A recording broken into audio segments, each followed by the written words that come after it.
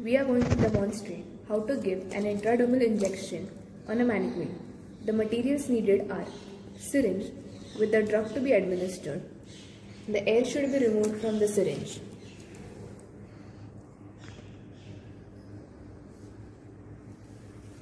Needle, liquid disinfectant and cotton wool. Technique Reassure the patient and explain them the procedure. Uncover the area to be injected. The area on which intradermal injection commonly given is forearm. Disinfect the skin. Wipe the area from the center of the injection site working outwards without going over the same area.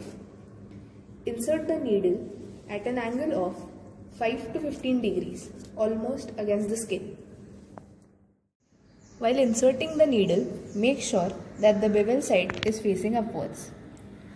Insert the needle at an angle of 5 to 15 degrees almost against the skin.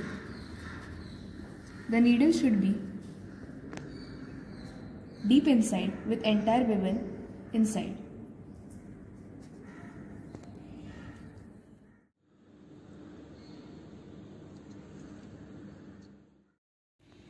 Watch for a small wheal or a blister to appear.